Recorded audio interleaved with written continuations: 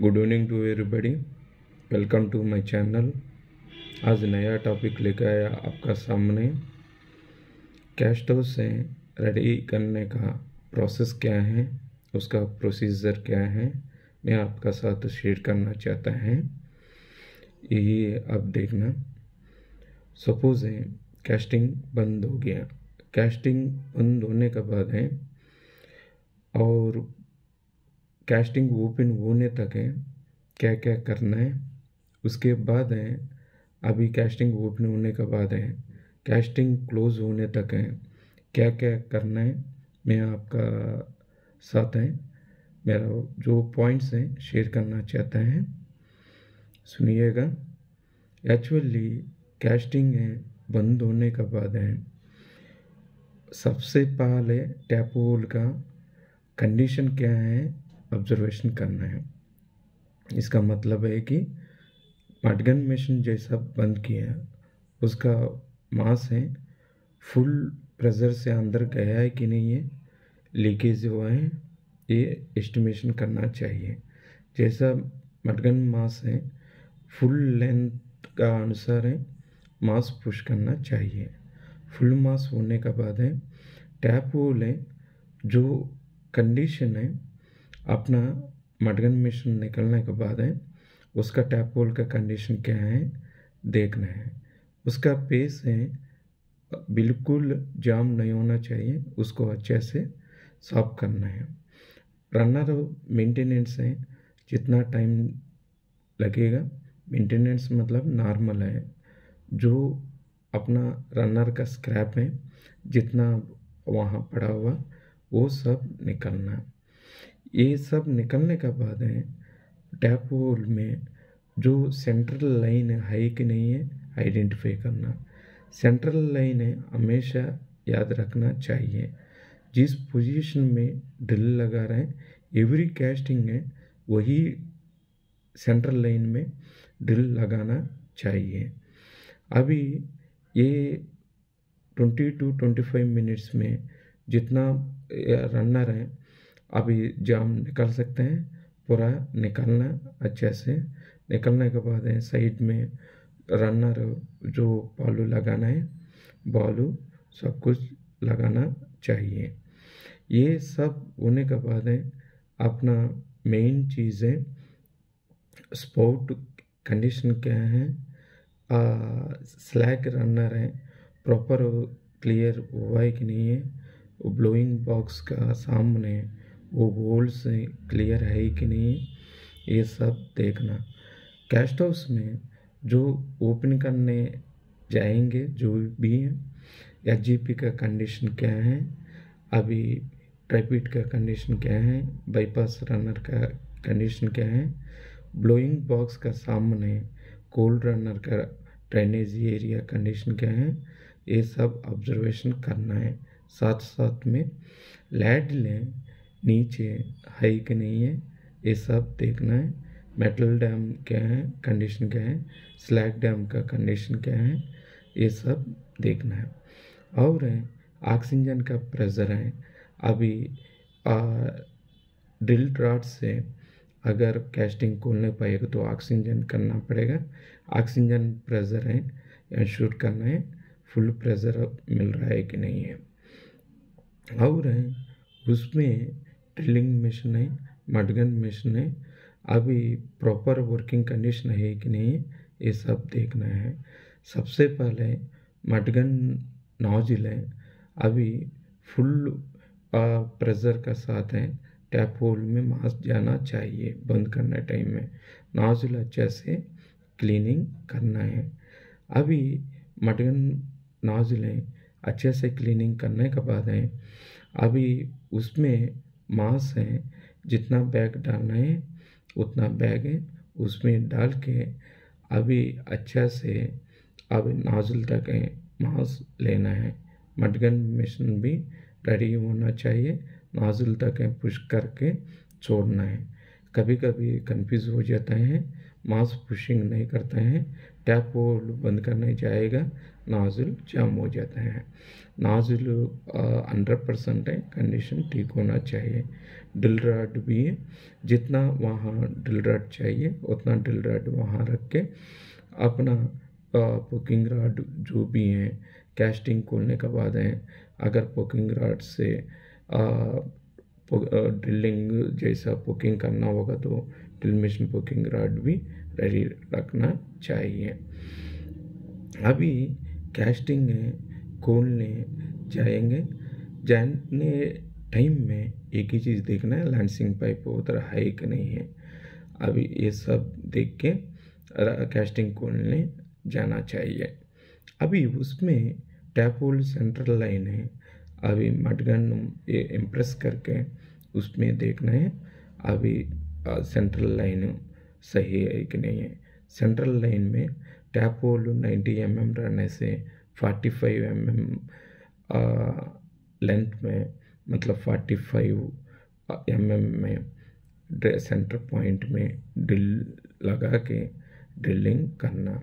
Generally drilling eight to fifteen minutes time लगता है।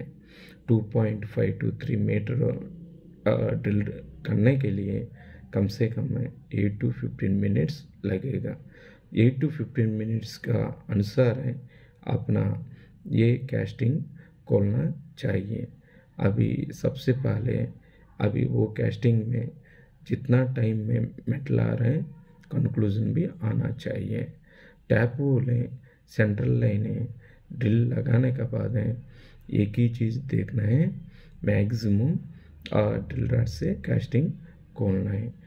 Casting ऐसी कंडीशन में खोलने से अपना ये जो open to close close to close है, जितना टाइम मेंटेन करना है, उतना टाइम मेंटेन हो ही जाएगा। मतलब डेढ़ घंटा से दो घंटा रहने से बारह कैस्टिंग का अनुसार है, अपना ट्वेंटी फोर आवर्स में मैक्सिमम प्रोडक्टिविटी गेनिंग करेगा।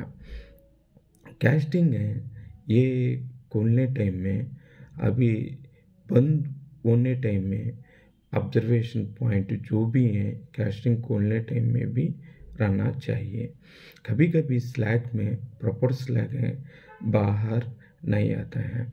ये स्लैग है प्रॉपर स्लैग है, क्यों नहीं आ रहा मॉनिटरिंग करना चाहिए। अभी स्लैग में एफ़ ई वो एस ए वो टू रहने से, बंद करना टाइम में जो कॉम्पाउंड है टैपोल सामने एकुमुलेट होने से नेक्स्ट कैस्टिंग खोलने टाइम में दिक्कत होगा। अगर वो लेयर रहने से, अपना कैस्टिंग बंद करने से पहले उसको अच्छा से मैनुअल पोकिंग करके अच्छा से ड्राई फ्लो लेके कैस्टिंग बंद करना। ऐसा कैस्टिंग बंद नहीं करेगा तो टैप होल है शॉर्ट लेंथ मिलेगा। कैस्टिंग है खोलने टाइम में भी आपको दिक्कत होगा। मतलब में फुल लेंथ नहीं मिलेगा। टैप होल पंचर जैसा हो जाता है। मतलब है मेटल आ जाता है। Proper tap hole full pressure से नहीं कूलेगा। उसका साथ में पन्नेस प्रेशराइजर होने का संभव भी रहेगा। कभी भी कैस्टिंग है खोलने के बाद है, उसका jet length tap hole jet length है कितना है? ऑब्जर्वेशन करना है।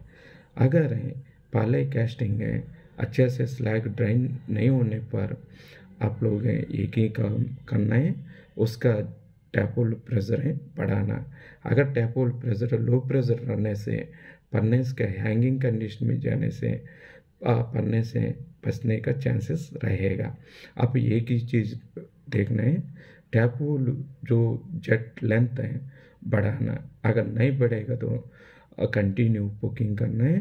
Continue drill booking drilling machine से बुकिंग करके मैनुअल बुकिंग करके टैपोल प्रेशर बढ़ाना है। प्रेशर बढ़ाते हैं साथ साथ में उसका जेट टैपोल का जेट लेंथ है आगे बढ़ाना। मतलब जितना लेंथ बढ़ा सके, उतना लेंथ बढ़ाना। कभी कभी ये एफ़ यू एस आई वो टू मशरूम का पास है, ये बैठने से कैस्टिंग है, दीवार जैसा रहेगा, उसको आठ मतलब बाहर आने में दिक्कत होगा।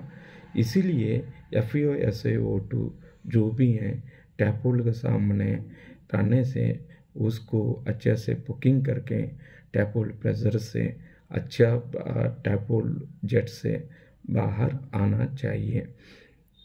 मतलब है, आप लोग हैं, पढ़ने से कंडीशन है एक ही जैसे देखना है स्टार्टिंग में मेटल टाइम में, जितना टैपोल जेट है, उतना जेट में स्लैग आने के बाद भी है उतना जेट मेंटेन करना है। मेंटेन करने से आपको टैपोल है नेस्ट कास्टिंग में, जितना फुल लेंथ मिलना है, उतना लेंथ मिलेगा।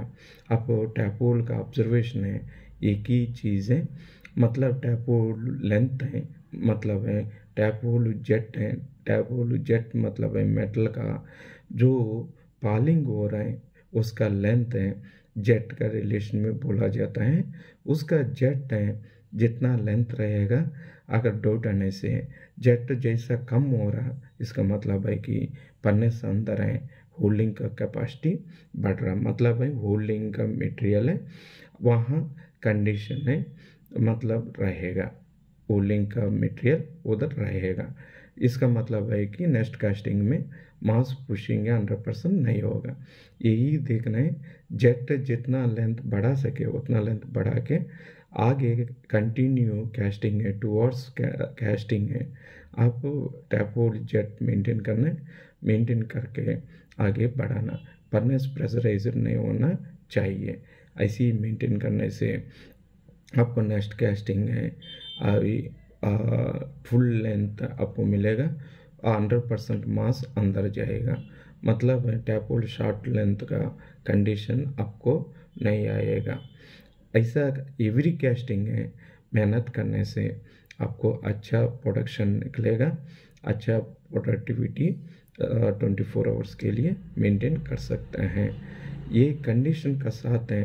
हमेशा आपको मेंटेन करने से आपको परनेस लाइफ भी बढ़ेगा। चार्जेस रेट भी जितना जाना है चार्ज वॉल्यूम का साथ है, उतना जाएगा, कोई दिक्कत नहीं होगा। टैपो लेंथ है जेट चेंज नहीं होना चाहिए। एवरी कैस्टिंग है every day same length maintain करने से आपको स्टेबलाइज रहेगा। मेटल स्टेबलाइज हो जाता है। कस्टमर रिक्वायरमेंट का जो केमिकल कॉम्पोजिशन है, वो भी आराम से मेंटेन कर सकते हैं।